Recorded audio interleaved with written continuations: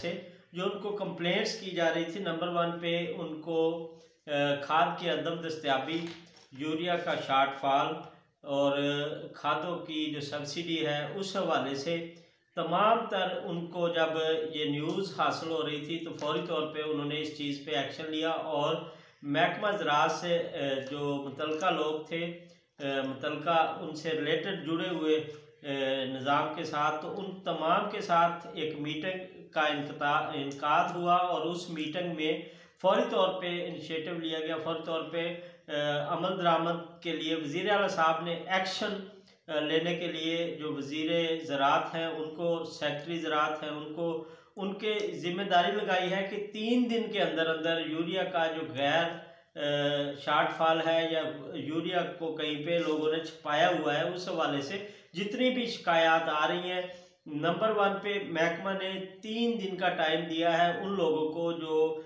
इस खाद के बिज़नेस के साथ जुड़े हुए हैं, जो खाद के डीलर हजरात हैं, दुकानदार हजरात हैं, या खाद का कारोबार कर रहे हैं। नंबर वन पे उनकी दुकान पे छापा मारा जाएगा तीन दिन के अंदर। अगर उन्होंने कहा कि हमारे पास खाद मौजूद नहीं है और उनके पास मौजूद हुई तो उनका जो स्टॉक है, वो भी उठा लिया जाएगा, उनको जुर्माना भी होगा और उसके साथ साथ उनका लाइसेंस जो है, वो भी कैंसिल किया जाएगा।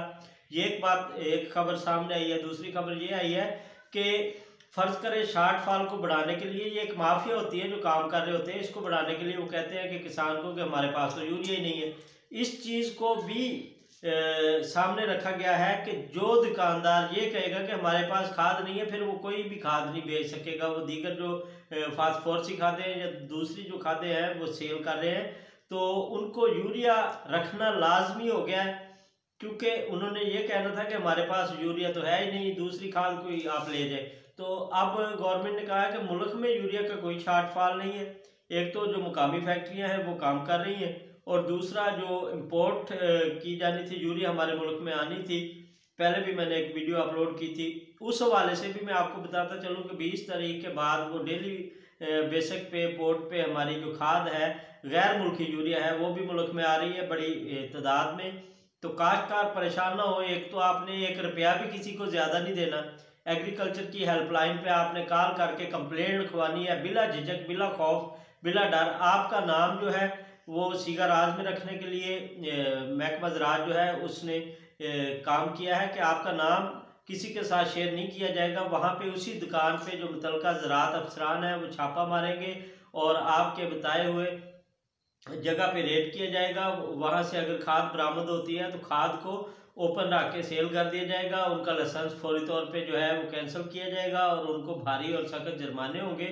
और इसी चीज़ को देखते हुए तीन दिन के अंदर अंदर अगर आपको फिर भी शिकायत वसूल होती है तो वज़ीर अला साहब ने कहा है कि फिर मैं खुद मैदान में आऊँगा और फिर देखूँगा कि कैसे ये खाद की जो माफिया हैं जो खाद को गुम करने वाले लोग हैं, वो क्या कर रहे हैं। और दूसरा, एग्रीकल्चर बेस्ड जो सब्सिडीज़ हैं ज़राए के मतलब कि ज़राए से जो मुझे खबरें वसूल हुई हैं, उनके मुताबिक कहा गया है कि वज़ी अला साहब ने इस हवाले से भी रिपोर्ट्स तलब की है कि ये जो वॉचर सिस्टम ई सब्सिडी है जिस सब्सिडी का इसका तरीक़ेकार, जिसमें सेक्ट्री ज़रात की तरफ़ से कुछ खामियाँ बयान की गई हैं तो वज़ी अला साहब ने कहा है कि इन खामियों को दूर करने के लिए वो उसका बेहतर हल निकाला जाए और इसमें क्या दिक्कत है, क्या परेशानियाँ हैं? अगर फंड्स के हवाले से परेशानियाँ उनको क्लियर किया जाए, अगर कोई और परेशानी है तो वो बताया जाए। किसान की जितनी भी इस हवाले से शिकायत मसूल हो रही हैं, उनका ज़ाला किया जाए। दूसरी जानब एग्रीकल्चर डिपार्टमेंट ने वजी अला साहब को ये भी ब्रीफ किया है कि एक करोड़ साठ लाख एकड़ पे जो हमारी गंदम की काश्त के लिए हमने हदफ मुकर किया था टारगेट किया था, वो अचीव कर लिया गया है। उसकी मुबारकबाद भी दी गई है। वज़ीर अला साहब को तो वज़ीर अला साहब ने कहा है कि मुबारकें तो आप दे रहे हैं। अब ये है टारगेट हमने अचीव उस वक्त करना है जब हमारा किसान एक करोड़ साठ लाख एकड़ से गंदम की भरपूर पैदावार हासिल करेगा, वहाँ से गंदम उठा लेगा। उस चीज़ को टारगेट कहते हैं। ये टारगेट नहीं कहते कि ज़मीन में जो बीज है उसका गंदम का, उसको छट्टा कर दिया गया और ये हमारा टारगेट अचीव हो गया। उस फ़सल को पकाना हमारी ज़िम्मेदारी है। किसान को बर वक्त फैसिलिटेट करना हमारी ज़िम्मेदारी है। किसान को खाद प्रोवाइड करना हमारी ज़िम्मेदारी है। और इसके साथ साथ मैं बात करता चलूँ तो दूसरी जानब एक और खबर भी आई है कि जो जरी ट्यूबवेल्स पे जो किसानों को कुछ रिलीफ देने की बातें हो रही हैं, हालाँकि आईएमएफ ने बिल्कुल इस चीज़ को बंद किया हुआ है कि एग्रीकल्चर बेस्ड जो पानी हमारी ज़रात में इस्तेमाल हो रहा है, जिससे बिजली से ट्यूबवेल चलाए जा रहे हैं, उन पर कोई सब्सिडी नहीं दी जाएगी, लेकिन ऐसी खबरें भी मेरे सामने आई हैं बाकी जो भी खबरें आती हैं, इंशाल्लाह आपके साथ शेयर करेंगे।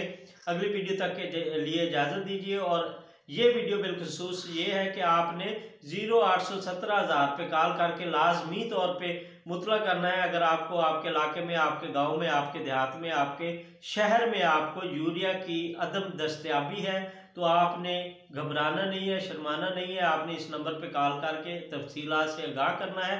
आपको मुकर्रा नरखों पे यूरिया की फरहमी जो है, वो पंजाब गवर्नमेंट ने कहा है कि हर हाल में होगी। हर किसान का हक बनता है और किसान को जो है बर वक्त खाद पहुँचाना हुकूमत का हक बनता है। इजाज़त दीजिए अगले वीडियो में।